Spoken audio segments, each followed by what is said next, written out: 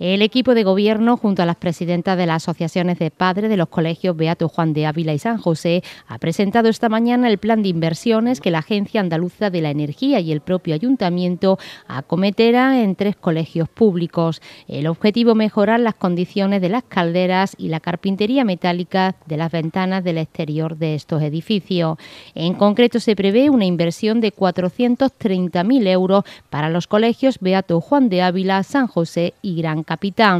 En concreto, en el Centro San José se prevé una inversión de 100.000 euros en la mejora de la carpintería y unos 40.000 euros en la sustitución de la caldera. Gracias a la Agencia Andaluza de la, Energía, eh, fueron unos proyectos que se pidieron el, el año anterior y están financiados al 70%.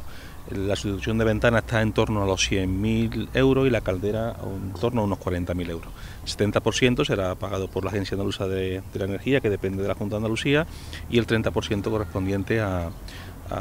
al pago que tiene que hacer el ayuntamiento. El ir adesentando eh, lo más posible para que nuestros niños y nuestras niñas tengan, pues eso, ¿no? en principio unos edificios, en este caso, pues pensando también en la eficiencia energética y pensando en el, ahorro que esto que, va, estas inversiones que vamos a hacer van luego también a repercutir en, la, en las arcas municipales y por supuesto en garantizar pues, el bienestar tanto en épocas de, frío como tenemos ahora como en, en épocas de calor, el poder aislar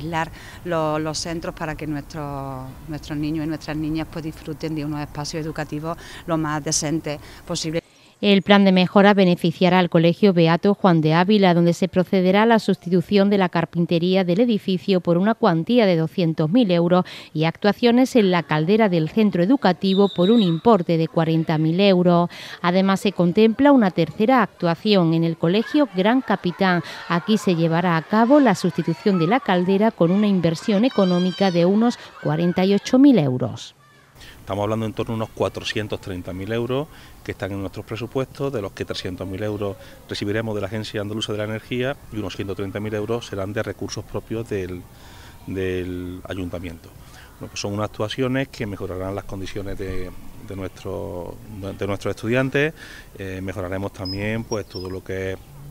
eh, el consumo energético de nuestros colegios, porque en definitiva pues seguimos caminando en, ese, en ese proyecto de ciudad. Las asociaciones de padres y madres de los colegios San José y Beato Juan de Ávila han destacado la importancia de estas actuaciones, ya que contribuyen a mejorar las prestaciones de las instalaciones educativas y redunda en beneficio de todos los estudiantes. Para nosotros súper importante y, muy contento, la verdad, por esta noticia, porque nuestro colegio ya necesitaba un, pegarle un buen empujón a lo que es el renovar el edificio un poquito y pues el cambio ahora de, la, de las ventanas y de la caldera que también está bastante obsoleta y estropeada pues viene, viene la mar de bien. Desde el Colegio San José y el AMPA pues recibimos la noticia con mucho agrado, muy contentos porque claro, eran medidas que se necesitaban. Los niños, este es su lugar de trabajo y evidentemente en cualquier lugar de trabajo mejoran las condiciones, hacen que los niños estudien, se sientan más cómodos y el rendimiento sea mejor. Por lo tanto, muy agradecidos, muy contentos, muy optimistas para que esto siga adelante y se sigan haciendo medidas en este sentido. Al margen de estas inversiones, sigue pendiente acometer un proyecto para la construcción de un espacio cubierto en el patio del Colegio San José, una demanda de la dirección de este centro que ya fue aprobada por el Pleno de la Corporación Municipal.